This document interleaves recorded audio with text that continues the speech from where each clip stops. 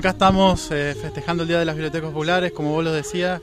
Eh, hay bastantes chicos y padres acompañando, están los libros, están leyendo, buscando libros, llevando libros por toda la plaza.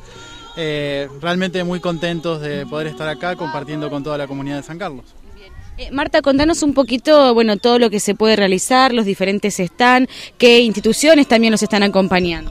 Eh, sí, mira, eh, están los libros como protagonistas principales, que pueden, hay libros también para adultos, que pueden venir, verlos, llevárselo a donde están sentados, leerlos. Eh, además pueden dibujar, pintar y además tenemos la colaboración de los dos talleres que funcionan en la Biblioteca Popular que uno está coordinado por Estela Bertoni y el otro por Maribel Ávila. Eh, bueno, han preparado ellos actividades, así que los chicos tendrían que acercarse y, ver todo lo que les proponen. Eh, además, hay un grupo de chicos del taller de Estela que, presentar, que prepararon un sketch, así que más tarde también va a estar el sketch. Eh, además tenemos el taller itinerante que también tiene propuestas muy interesantes y que Ana y Micaela, bueno, se prestaron muy gustosa a acompañar a la biblioteca. Y eh, para también nuestra sorpresa y, alegría, el Instituto del Profesorado número 60 eh, también vino con su propuesta de contar cuentos, tienen un retablo.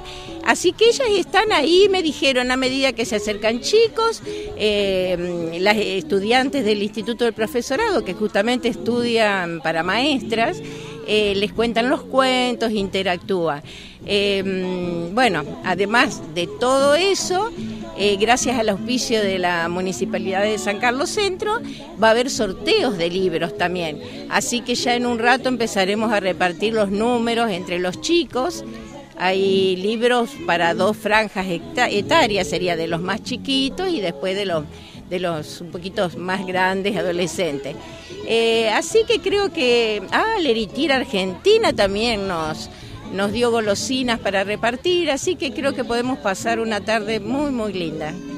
Y el festejo, decíamos Mauricio, también se complementa con las bibliotecas de otras localidades que cada una de ellas está llevando a cabo en su localidad, como Matilde, San Carlos Sur, por ejemplo, también eventos similares a este, ¿no? Sí, así es. Todas las bibliotecas que están coordinadas por CONADIP festejan este día, que es el Día de las Bibliotecas Populares. En todas las localidades donde hay bibliotecas populares, que como decíamos en la nota la semana pasada, el día fue el 23, pero bueno, las diferentes bibliotecas van, lo van festejando en los días que, donde más asistencia puede haber ¿no? a estos eventos, que es el fin de semana. Y lo más importante, Marta, es que veíamos papás este, que se están dando ese ratito para compartir un libro con sus hijos, para leerles un libro, una actividad que a veces no es muy común, la rutina de la semana no nos permite tomarnos 5 o 10 minutos para sentarnos con nuestros hijos a leer y hacerlo de forma placentera, no obligada porque sea un texto de la escuela o porque sea alguna tarea, ¿no? Digo, que es lo que generan este tipo de, de eventos. Sí, justamente de eso se trata, de que los chicos y los grandes tengan los libros a su disposición. Y como decís vos, en un lugar sin apuro, sin ninguna obligación de cumplir. Eh, quisimos esta vez venir a esta plaza que realmente está hermosa, porque un poco la idea de la biblioteca es ir eh, a distintos lugares lindos que tiene San Carlos, como para que los distintos barrios vayan eh, aprovechando estos acontecimientos.